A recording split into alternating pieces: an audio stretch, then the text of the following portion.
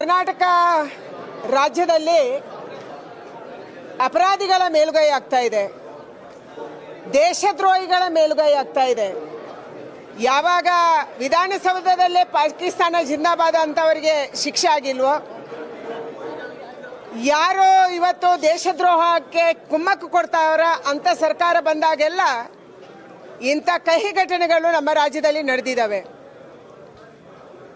ಭಾರತದಲ್ಲಿ, ಕರ್ನಾಟಕದಲ್ಲಿ, ಬೆಂಗಳೂರಲ್ಲಿ, ಮೈಸೂರಲ್ಲಿ, ಕೊಡಗಲ್ಲಿ, ಹಾಸನದಲ್ಲಿ, ನಾಗಮಂಗಲದಲ್ಲಿ ಬೇರೆ ಬೇರೆ ಜಾಗಗಳಲ್ಲಿ, ಕೋಲಾರದಲ್ಲಿ ಇವತ್ತು ಪಾಕಿಸ್ತಾನ ಜಿಂದಾಬಾದ್ ಅನ್ನುವಂಥ ಘೋಷಣೆ ಕೇಳಿ ಬರ್ತಾ ಇದೆ ಪ್ಯಾಲೆಸ್ತೈನ್ ಧ್ವಜ ಹರ್ತಾ ಇದೆ.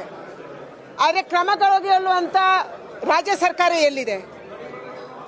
ಕೇವಲ ವೋಟ್ ಬ್ಯಾಂಕ್ ರಾಜಕಾರಣಕ್ಕಾಗಿ, ಅಲ್ಪಸಂಖ್ಯಾತರನ್ನು ಓಲೈಕೆ ಮಾಡೋದಕ್ಕಾಗಿ ದೇಶದ್ರೋಹ ಮಾಡಿದ್ರೂ ಅಡ್ಡಿ ಇಲ್ಲ. ನಮಗೆ ವೋಟ್ ಬೇಕನ್ನುವಂಥ ಮಾನಸಿಕತೆ ಇರುವಂಥ ಸಿದ್ದರಾಮಯ್ಯನವರಿಂದ ನಾವು ದೇಶ ಪ್ರೇಮವನ್ನು ಅಥವಾ ಕಾನೂನನ್ನು ನಿರೀಕ್ಷೆ ಮಾಡಲಿಕ್ಕೆ ಹೇಗೆ ಸಾಧ್ಯ? ನ್ಯಾಯವನ್ನು ನಿರೀಕ್ಷೆ ಮಾಡೋಕ್ಕೆ ಹೇಗೆ ಸಾಧ್ಯ?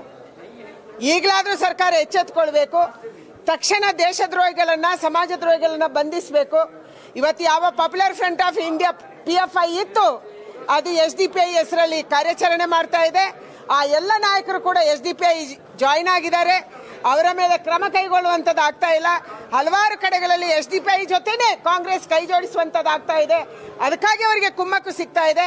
ತಕ್ಷಣ ರಾಜ್ಯದಲ್ಲಿ ಕಾನೂನು ಸುವ್ಯವಸ್ಥೆಯನ್ನು ಕಾಪಾಡುವುದಕ್ಕಾಗಿ ಇಂಥ ಎಲ್ಲ ದೇಶದ್ರೋಹಿಗಳನ್ನು, ಸಮಾಜ ದ್ರೋಹಿಗಳನ್ನು ಯಾರು ನಾಗಮಂಗಲದಲ್ಲಿ ಗಣಪತಿಗೆ ಅವಮಾನ ಮಾಡಿದ್ರು, ಗಣಪತಿಯ ವಿಘ್ನ ಮೂರ್ತಿಯನ್ನು ವಿಘ್ನ ಮಾಡಿದ್ರು ಅಂಥವರ ಅಂತವರ ಅಂತವರಿಗೆ ಮತ್ತೆ ಅಂತ ಮಾನಸಿಕತೆಯನ್ನ ಮಟ್ಟ ಹಾಕುವಂತ ಕೆಲಸವನ್ನ ಸರ್ಕಾರ ಮಾಡಬೇಕನ್ನುವಂತ ಆಗ್ರಹವನ್ನು ನಾನು ಮಾಡ್ತಾ ಇದ್ದೀನಿ.